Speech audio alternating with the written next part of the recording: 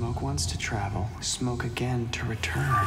Okay, I'm in. I'm Yes! in. As yes! as we come right yes! back. I promise. I promise. I promise. I promise.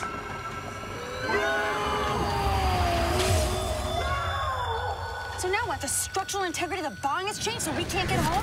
We have no ability to control where we go, forcing us to bounce around the space-time continuum indefinitely?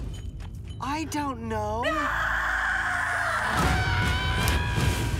say what history should and shouldn't be. Not us. We are idiots.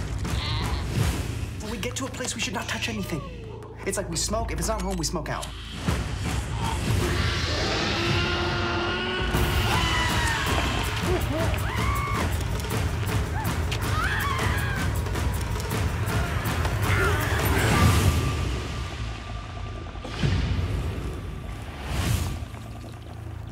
Dope.